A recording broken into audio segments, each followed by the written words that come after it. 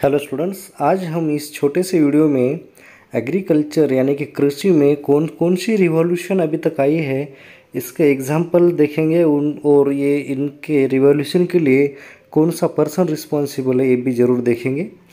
कृषि में हम ग्रीन रिवॉल्यूशन के बारे में कॉमनली जानते हैं, लेकिन बाकी और बहुत सारे रिवॉल्यूशंस है जिसके बारे में हमें जानना ज़रूरी है, और इसके ऊपर एग्ज़ाम में क्वेश्चन ज़रूर आते हैं। चलिए वीडियो को लाइक ज़रूर करिए और चैनल सब्सक्राइब करना मत भूलिए। तो सबसे पहला रिवॉल्यूशन है ब्लैक रिवॉल्यूशन ये पेट्रोलियम प्रोडक्ट के लिए है। ब्लू रिवॉल्यूशन ये है फ़िश और एक्वा प्रोडक्शन के लिए। Brown revolution coal and leather के लिए है।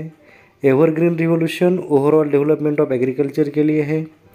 गोल्डन फाइबर रिवॉल्यूशन जूट के लिए है golden revolution honey and horticulture के लिए है, और green revolution agriculture food grain specially wheat और राइस के लिए है। Then grey revolution related to fertiliser pink revolution जो है वो प्रॉन फ़िश ओनियन मीट और फार्माक्यूटिकल्स के लिए है। Protein revolution higher production technology derive second green revolution के लिए है, रेनबो रिवॉल्यूशन फ्रूट्स के लिए है, रेड रिवॉल्यूशन मीट और टोमेटो के लिए है। इसके बाद जो नेक्स्ट रिवॉल्यूशन है वो है राउंड रिवॉल्यूशन वो पोटैटो के लिए है, सिल्वर रिवॉल्यूशन कॉटन के लिए है सॉरी, सिल्वर फाइबर बोलेंगे हम। सिल्वर रिवॉल्यूशन जो है वो है एग और poultry production white milk and dairy product के लिए है, और लास्ट जो है येलो रिवॉल्यूशन येलो रिवॉल्यूशन जो है वो है oil seed edible oil specially mustard और सनफ्लावर के लिए। तो ये हमारे अलग अलग तरह के रिवोल्यूशन है।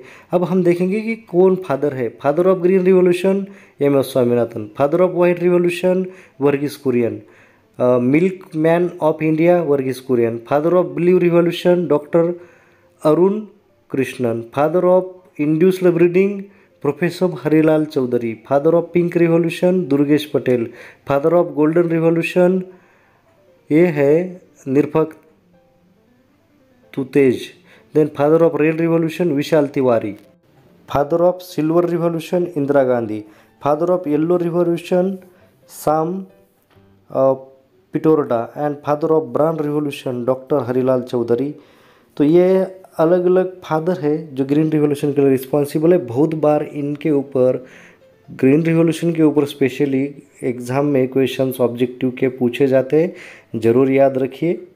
धन्यवाद।